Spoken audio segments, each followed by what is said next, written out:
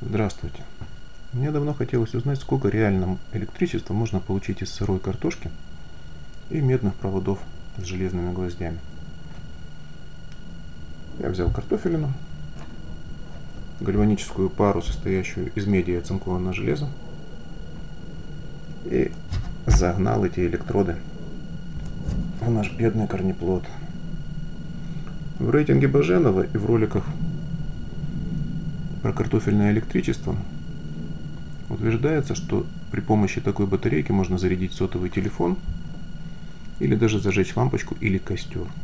Давайте посмотрим, сколько реально выдает такая картофельная батарея. Как видите, электричество даже зашкаливает. Но при этом вся шкала у меня 0,3 вольта. Переключившись на другую шкалу, мы можем измерить точно. Итак, у нас не более полувольта напряжения от картошки с хорошей гальванической парой. Мы можем даже проверить ток. Наша картофельная батарея выдает хоть маленький, но вполне измеримый ток.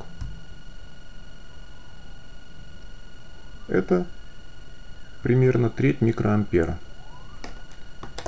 Никакой речи о том, чтобы засветить даже маломальский слабенький светодиодик, или тем более получить искру для разжигания костра, как это утверждает Баженов, из такой картофельной батарейки невозможно.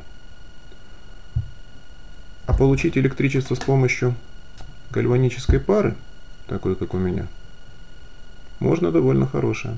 Об этом я расскажу позже.